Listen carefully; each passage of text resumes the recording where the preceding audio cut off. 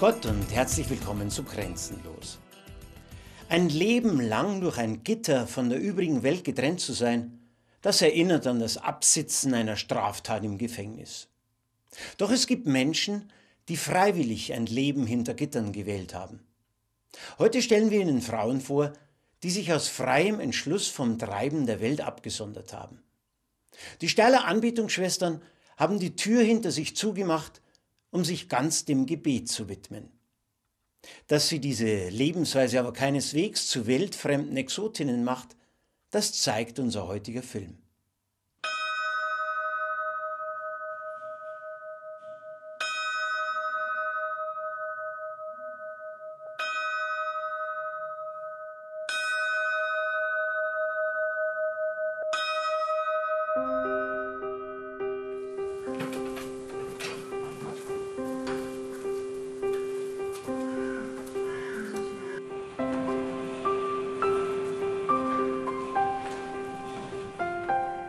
Das Dreifaltigkeitskloster in Bad Driburg. 30 Schwestern leben hier. Sie gehören zur Gemeinschaft der Dienerinnen des Heiligen Geistes von der ewigen Anbetung. Das ungewöhnlich gefärbte Ordensgewand hat den Schwestern einen weiteren Namen gegeben. Umgangssprachlich werden sie auch Rosa-Schwestern genannt. Die Ordensfrauen leben in strenger Klausur.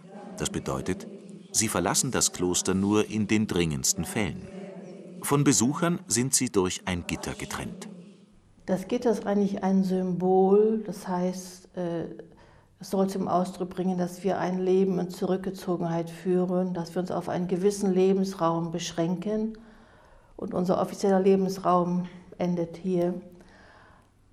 Auch vielleicht ausdrücken, dass unser Leben nicht so sehr ein Leben mit anderen ist, sondern für andere.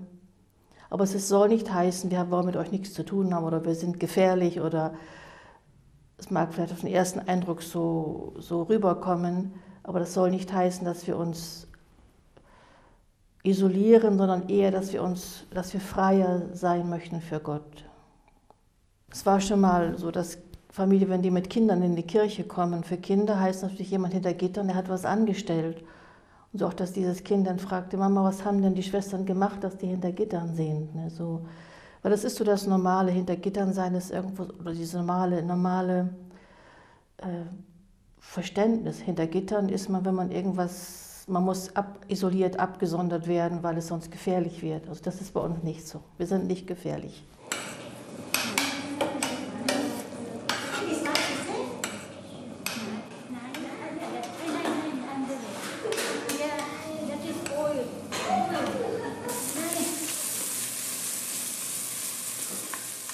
Es sind viele Arbeiten, die in dem großen Haus erledigt werden müssen.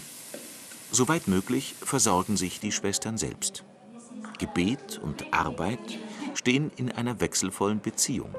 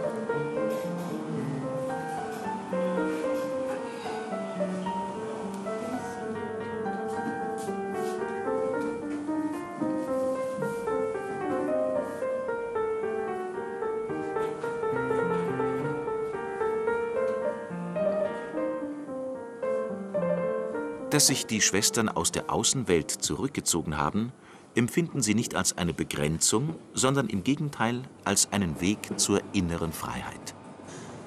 Hinter jedem Eintritt steht eine ganz persönliche Suche, die dazu geführt hat, diese besondere Lebensform zu wählen.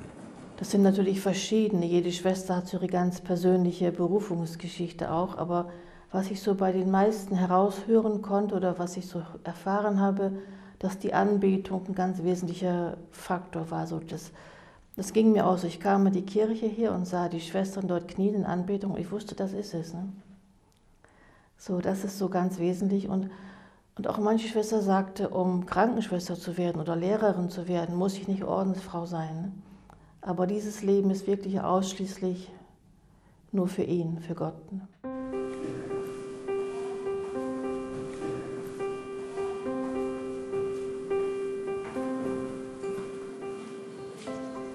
Ich wollte ins Kloster. Ich wollte aber in ein, in ein geschlossenes, in ein ganzes in nichts draußen herumlaufen.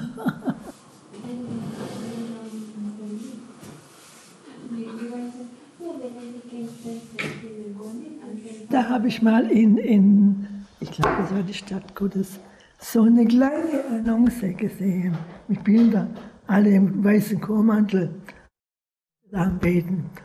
Und, und es hat mich nicht mehr losgelassen. Und dann habe ich mich da gemeldet, ohne meine Mutter zu fragen. und, und, bin nach Steil gereist, übernachtet dort auch, dann konnte ja nicht hin und her an einem Tag. und wie ich zurückkam, da war es schon beschlossen.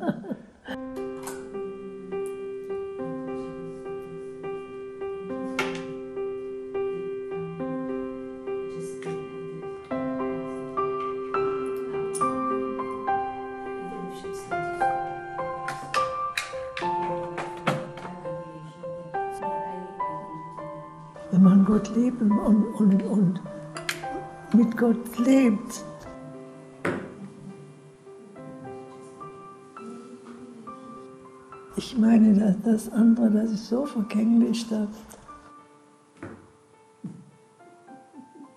dann hat man immer nichts mehr in den Händen hinterher. Check. Der Rare ist immer, den hat man immer, wenn man wenn man ihn haben will. Kommt auch in den Sinn, habe ich es auch gut gemacht.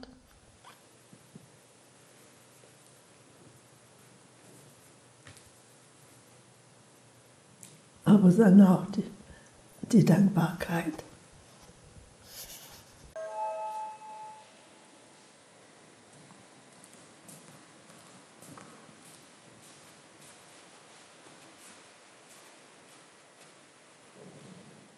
Der Name der Gemeinschaft, Dienerinnen des Heiligen Geistes von der ewigen Anbetung, ist Programm. 24 Stunden am Tag, 365 Tage im Jahr beten die Schwestern vor dem ausgesetzten Allerheiligsten, einer geweihten Hostie in einer Monstranz. Ihr Gebet soll nie unterbrochen werden. Deshalb lösen die Schwestern einander ab. Tagsüber betet eine Schwester 30 oder 45 Minuten, in der Nacht eine Stunde. Anschließend wird sie von einer Mitschwester abgelöst. Ja, es ist, denke ich mal, das, es hängt natürlich auch mit unserer Berufung zusammen, so dieses, dass wir uns gerufen fühlen, Gott Tag und Nacht zu, zu loben und zu preisen, ihn zu verehren und natürlich eben auch Tag und Nacht die Anliegen der Kirche und die Mission vor ihn zu tragen. Und das eben die Nacht hat nochmal so was ganz Besonderes, wenn man so Jesus auf das Leben Jesus schaut. Er hat auch in der Nacht ganze Nächte hindurch gebetet. Und es hat was Besonderes, in der Nacht zu beten. Das ist so eine besondere, ja, besondere Atmosphäre, eine große Stille. Man ist allein vor dem ausgesetzten Allerheiligsten. Das ist so etwas, ja, das kann man auch schwer in Worte wiedergeben, muss man mal gemacht haben. Ne? Und das ist einfach, das ist auch vieles, was man gar nicht verstandesmäßig erklären kann und auch vielleicht gar nicht in Worte fassen kann. Das ist einfach die Berufung. Das ist so, man, man hat das mal gesehen, es, es wurde so eine Sehnsucht in einem geweckt und man geht dieser Sehnsucht nach. So auch wie jemand, der sich verliebt. Man, man kann es auch nicht erklären, warum gerade dieser Mensch, aber man fühlt sich einfach angezogen und lebt danach und geht eben diese, dieser Sehnsucht hinterher.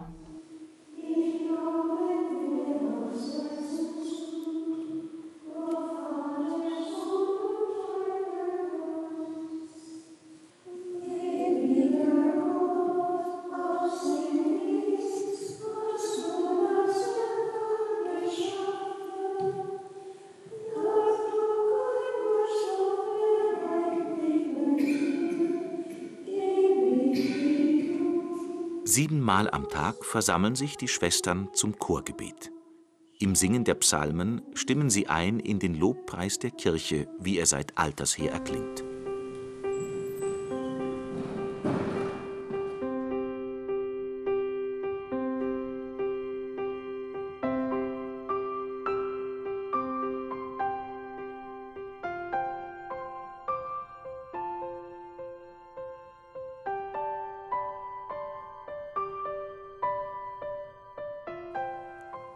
Das kontemplative Leben der Schwestern wird wesentlich vom Schweigen geprägt.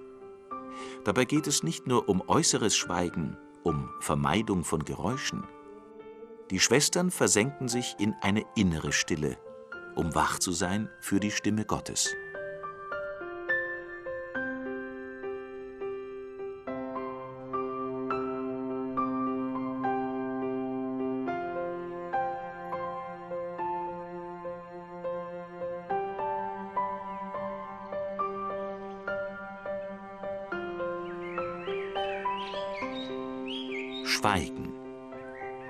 Die Schwestern auf Worte, auf das Sprechen verzichten, dort werden sie mehr und mehr zu Hörenden.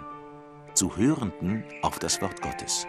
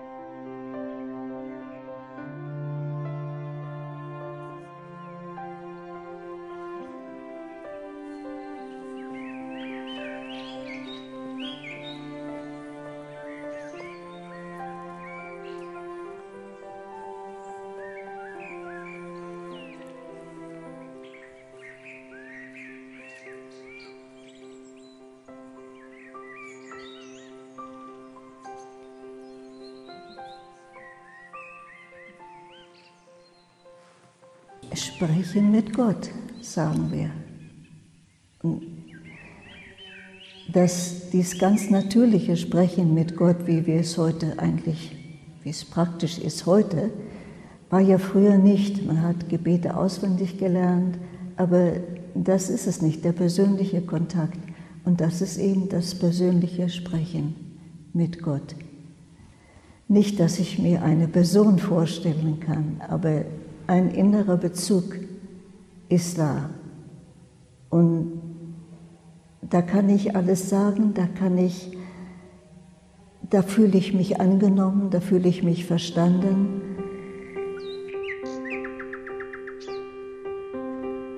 Ja, das ist ja, dafür sind wir da, das ist unsere Aufgabe.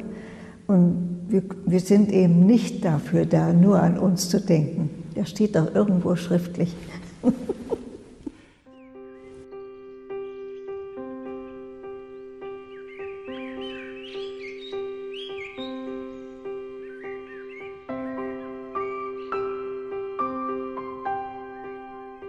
One favorite verse of mine is from John 15, verse 9.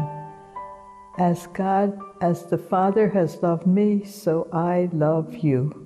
And that, that always touches me very deeply when I think of it.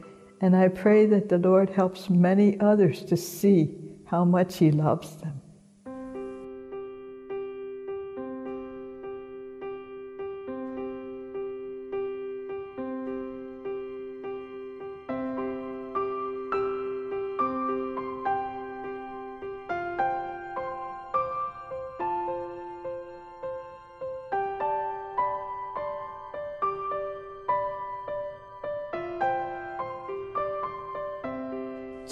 Jesus, God, is the source of all joy. The Holy Spirit is the source of all joy.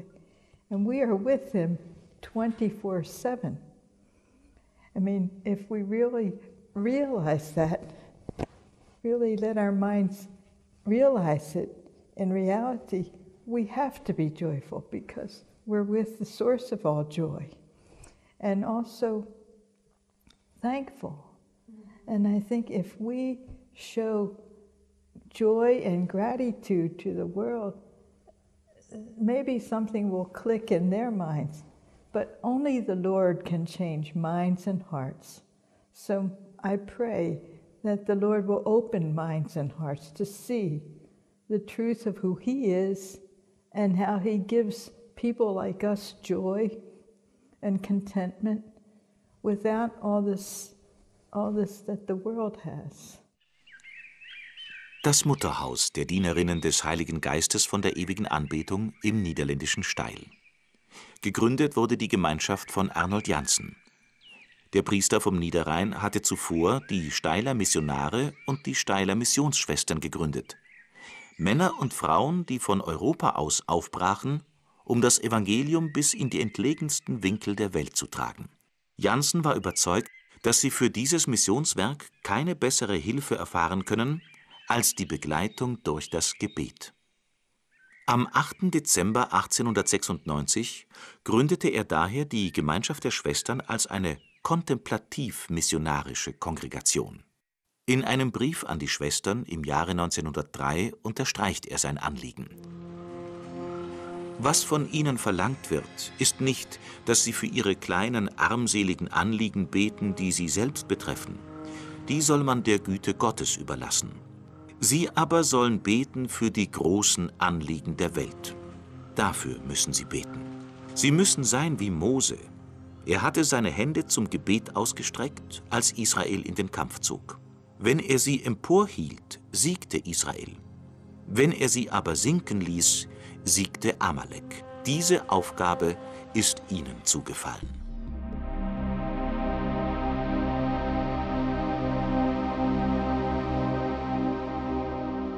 Mit ihrem Gebet sind die Anbetungsschwestern draußen, dort wo die Missionarinnen und Missionare dafür sorgen, dass der Geist Gottes diese Welt zum Guten wandelt.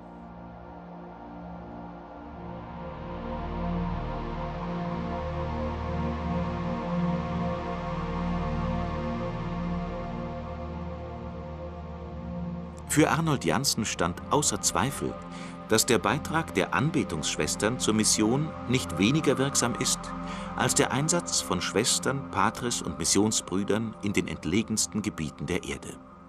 Darin versuchen die Rosa-Schwestern ihre Berufung zu leben. Meine tiefste Sorge ist, dass ich den Ruf Gottes, den ich nie mehr vergessen werde und der sich so tief eingesenkt hat, die Antwort gebe. Und diese Antwort, ja, die, die, die zeigt sich, die Antwort, die ich geben soll, die zeigt sich in dem, worin ich hineingestellt bin, was meine Aufgabe ist. Vor allem das Gebet, das Gebet ja für die ganze Welt, für die Kirche und die Menschen natürlich, die sich uns dem Gebet anvertrauen, die, die, die wir gar nicht kennen, auch unsere eigenen Angehörigen, nicht wahr? Die, praktisch die ganze Welt, die Not mit hineinnehmen, dass ich das nach Gottes Willen bewusst liebe. Ich kann nur glauben daran, dass Gott es annimmt. Er ist die Liebe. Nur er kann, er kann da was machen. Aber ich kann, ich kann ihn daran erinnern, dass er sich dieser unserer Welt annimmt, so wie sie ist.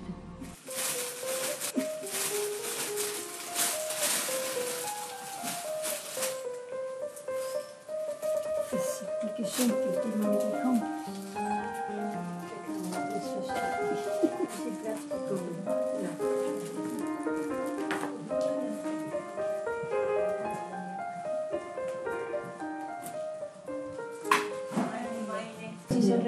Deutsch, auf English. Yeah, you can just pay display it there. And Yeah. then, uh, Uh, he was suggesting uh, one picture from us, another picture from the, um, the Ah, yeah. situation around the world. Uh, uh, babies was uh, in the hospital. Im Kloster von Bad Driburg ist auch das Generalat der Rosa-Schwestern ansässig. Generaloberin ist Schwester Maria Magdalena.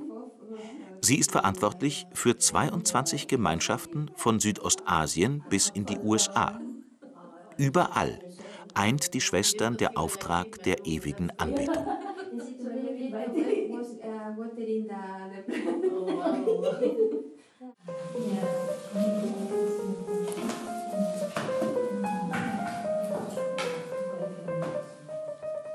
Es sind Hunderte von Briefen, die die Schwestern zu Weihnachten an Freunde und Förderer verschicken.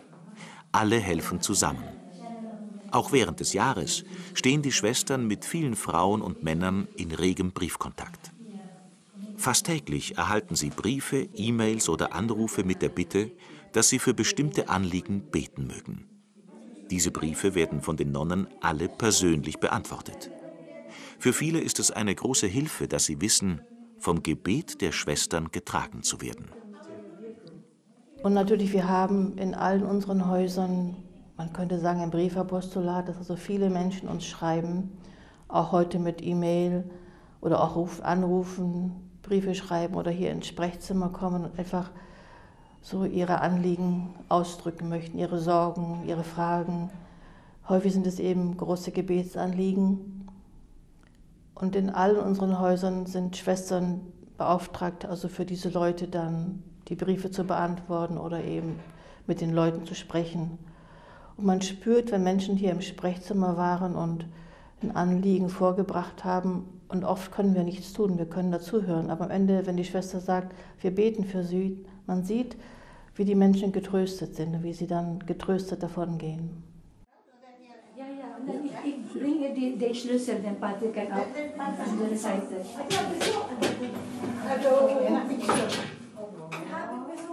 Besuch im Kloster. Heute sind Mitglieder der philippinischen Gemeinde gekommen, die den Schwestern ihres Heimatlandes gelegentlich einen Besuch abstatten. Es geht dabei fröhlich zu. Ein freudloser Ort ist das Anbetungskloster nicht. Obwohl sie in Klausur leben, weltfremd sind die Rosa-Schwestern nicht. Neben persönlichen Kontakten stehen die Schwestern auch über moderne Kommunikationsmittel in Kontakt mit zahllosen Menschen auf der Welt. Mit ihrer besonderen Berufung wollen sie auf ihre Weise dazu beitragen, dass Gott in dieser Welt erfahrbar wird.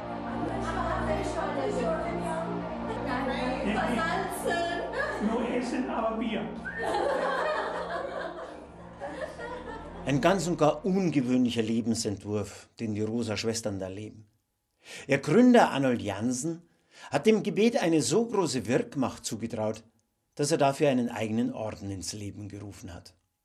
Das erinnert an ein Wort, das Jesus seinen Jüngern mitgegeben hat. Betet und ihr werdet empfangen. Wenn Sie mehr über die außergewöhnliche Lebensweise der Steiler Anbetungsschwestern erfahren möchten, dann schreiben Sie uns oder besuchen Sie uns im Internet. Bis zur nächsten Sendung. Ihnen allen eine gesegnete Zeit.